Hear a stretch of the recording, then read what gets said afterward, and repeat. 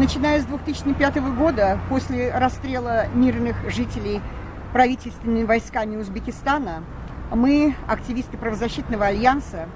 э, ежегодно проводим акцию вот у этого памятника монумента мужества. Чисто символически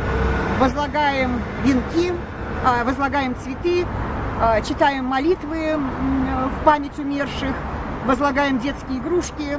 и говорим, что эти жертвы военных преступлений не забыты и всегда требуем расследования и наказания виновных лиц за вот эти вот военные преступления, за расстрел мирных жителей и в том числе и детей.